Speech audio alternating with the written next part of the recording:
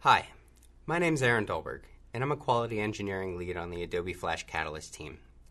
Today I'm going to give you a tour and cover some of the basic concepts that you should understand when using this new application. So when you first launch Catalyst, you'll see our welcome screen. From here, you can open existing projects, create a new project from an existing design comp, or start a new project from scratch. Let's just start a new project from scratch and take a look around.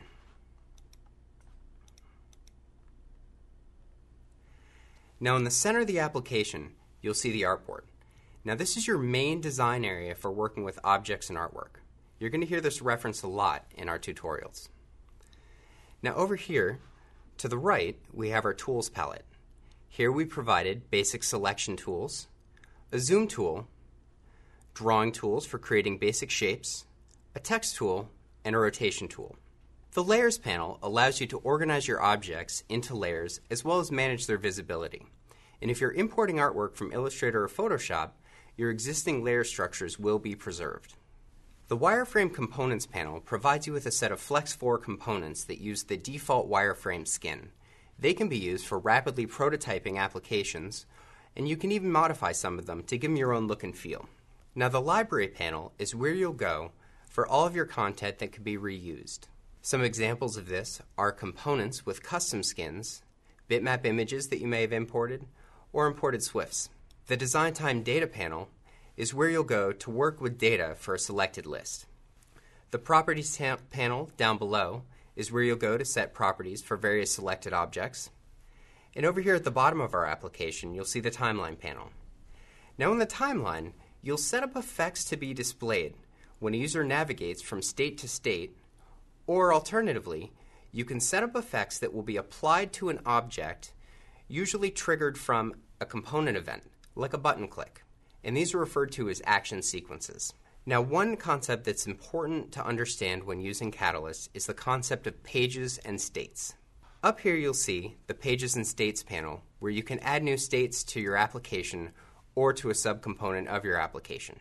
Pages are generally used to describe the areas of your application that a user would navigate to when interacting with it, whereas a component state describes the look and feel of a component at a given state and time, usually based on a mouse event or other user interaction. So let me give you an example of how you'd actually go and set up some custom component states.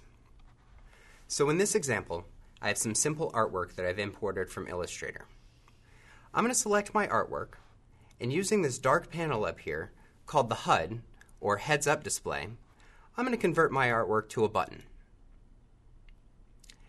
Now that I've converted it, I can double click to edit in place. And you'll see that my component has four states that have automatically been created for me. We're going to work with three of them right now. I'm going to select my up state, and using the Layers panel, I'm going to turn off visibility for all artwork that I don't want displayed when the button is up. I'm going to repeat this process and toggle visibility for desired artwork for my over and down states.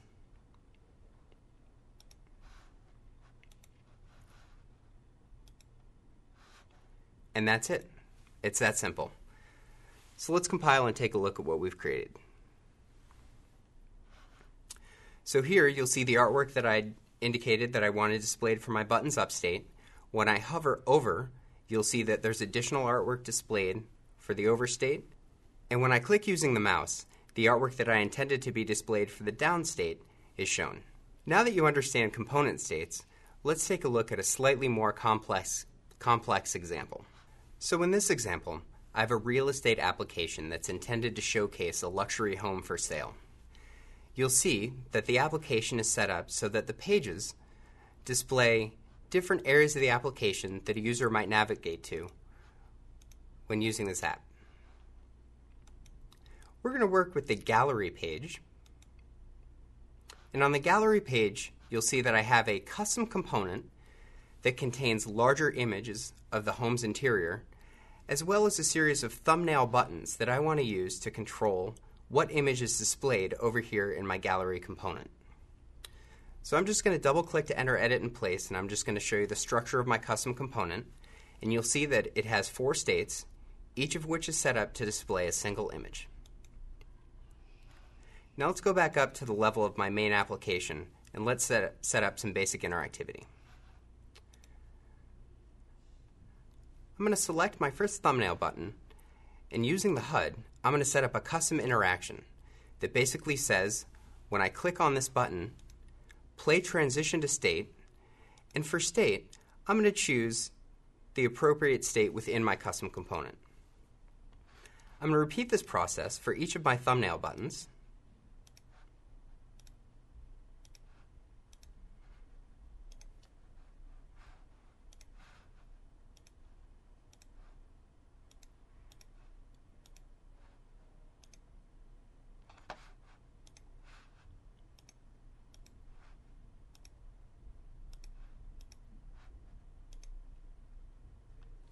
And that's it. Let's test it out and see what we've created.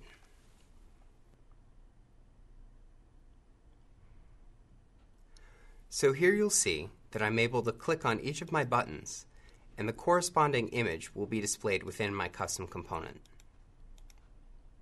So now that you understand some of the basic concepts in Catalyst, we invite you to visit Adobe Labs and download the Adobe Flash Catalyst Beta.